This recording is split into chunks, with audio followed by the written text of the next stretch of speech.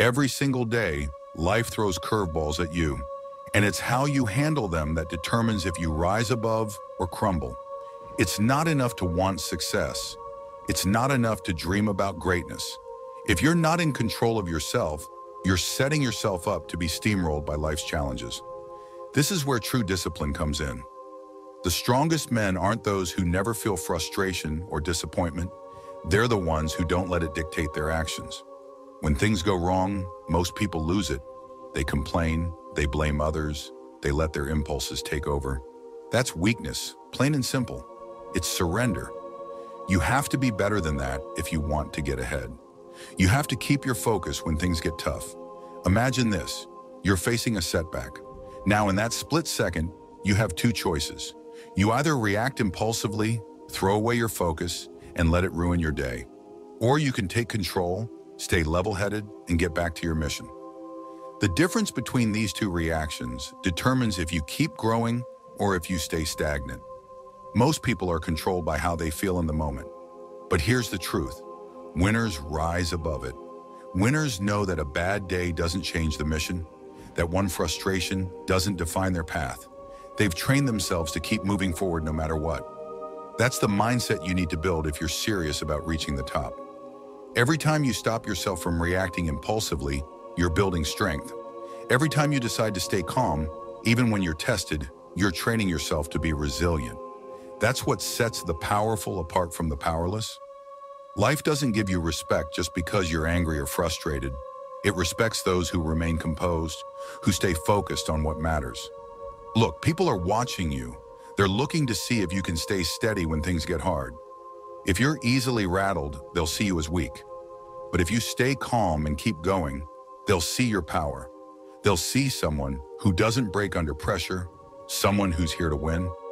Self-mastery earns respect from others and from yourself.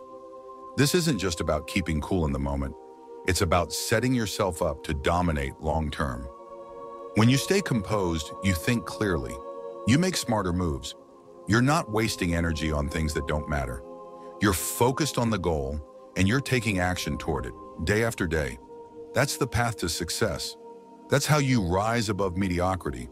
Too many people let every little thing derail them. They let fear stop them. They let anger control them. That's weakness in disguise.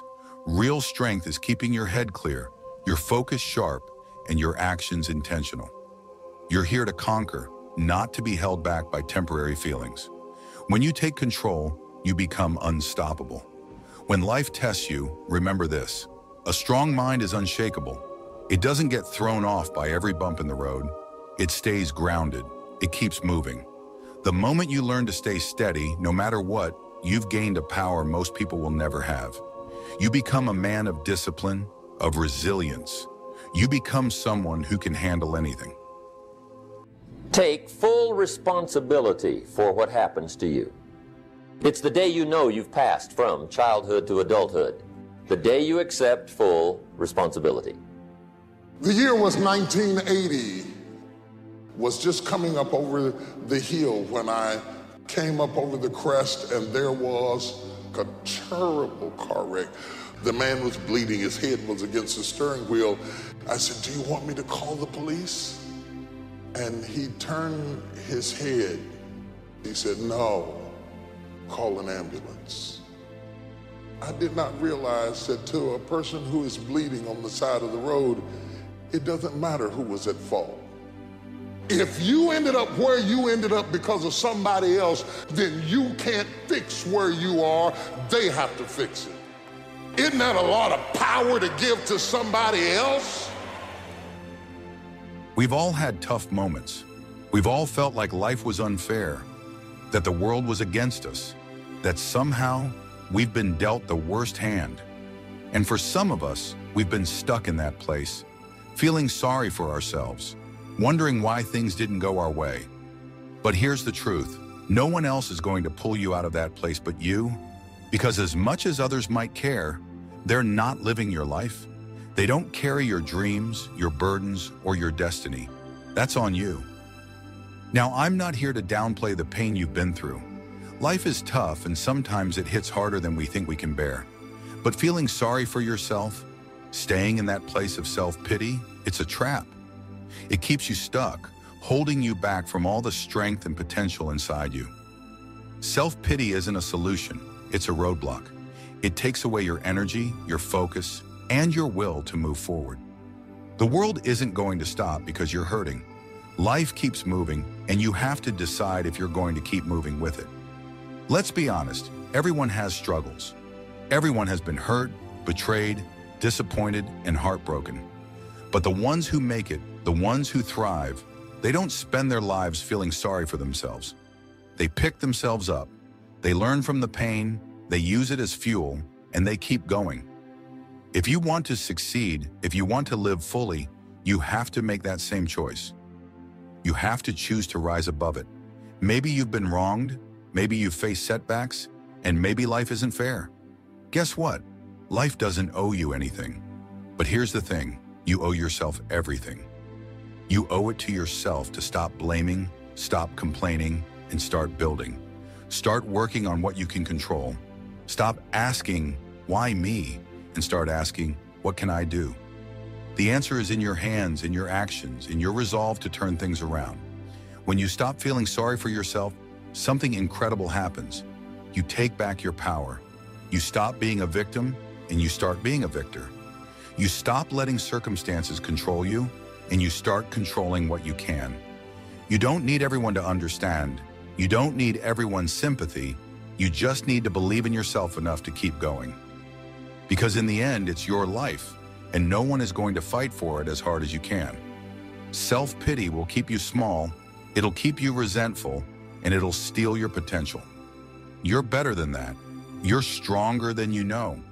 There's a version of you that doesn't give up, that doesn't stay down, that doesn't let anything stand in the way. That version of you is ready to fight, ready to take on whatever comes your way.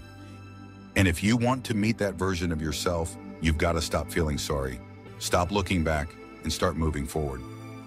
People respect resilience. They respect strength. They respect the person who, no matter what life throws at them, keeps pushing, keeps working, keeps rising. And that respect, that doesn't come from sympathy. It comes from your own courage, your own determination. It comes from you deciding that you're not going to let the hard times define you. You're going to define yourself. Let today be the day you say, enough. Enough with the pity, enough with the blame, enough with the self-doubt. Today, you take responsibility. Today, you own your life. No matter what's happened, no matter what's hurt you, you have the power to turn it around. You have the power to grow from it, to learn from it, and to become stronger than you were before. Let today be the day you choose to rise. Not because it's easy, not because you have to, but because you can. No one else can live your life. No one else can make the choices you need to make. And if you're going to live a life worth living, you have to take ownership. Own your mistakes, own your flaws, own your journey. Stop asking for someone else to fix it. Stop waiting for a handout. You've got to get up, put one foot in front of the other, and keep going. People may not care about your excuses, but they'll care about your actions. They'll care when they see you rise above. So rise. Because the best way to show life that it didn't break you is by building yourself up stronger than ever. Let today be the day you decide, no more pity, only progress.